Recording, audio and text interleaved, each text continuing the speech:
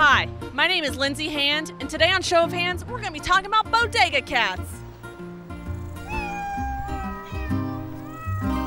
So I don't know if you guys read the New York Times article today, but uh, De Blasio has passed a law that they're going to start banning bodega cats. Yeah, I see that. That's outrageous. We talked about it in class today. It was like a going against the Constitution, kind of. Do you have a cat? Are you a cat person? A cat. I have two young children. That's enough for me. Are you a cat person? I am, and I do love bodega cats. I guess it's like a problem with the health department because it's like an animal where they're selling food. Yeah, I always thought they keep mice and roaches and probably make them more clean. The cat in my bodega is my favorite part of that bodega. Yeah, that's the best part because cats are so fat and fun and they keep the rats away.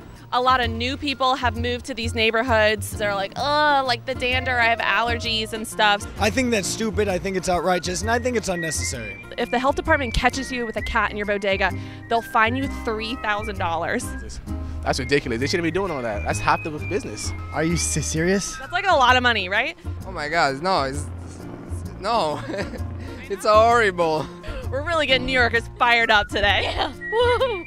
It's unfortunate. I really hope you should. I'm, I'm glad there's activism going on about it. When you begin to restrict that, then you go to dogs, to uh, to other exotic animals, and uh, before you know, you'll end up with people. question is like to Mayor de Blasio, does he have any affection towards animals?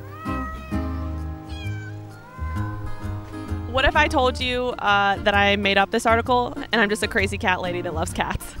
Okay. Hey, this is New York. Anything goes. Ah, man. I was going to get upset. I'm like, man, we need bodega cats. okay, great. but it really is an important issue to me. Yeah. It's me. Thanks for watching our video. If you haven't already, check out Too Many Q-Tips because it's hilarious and subscribe to our channel. Bye.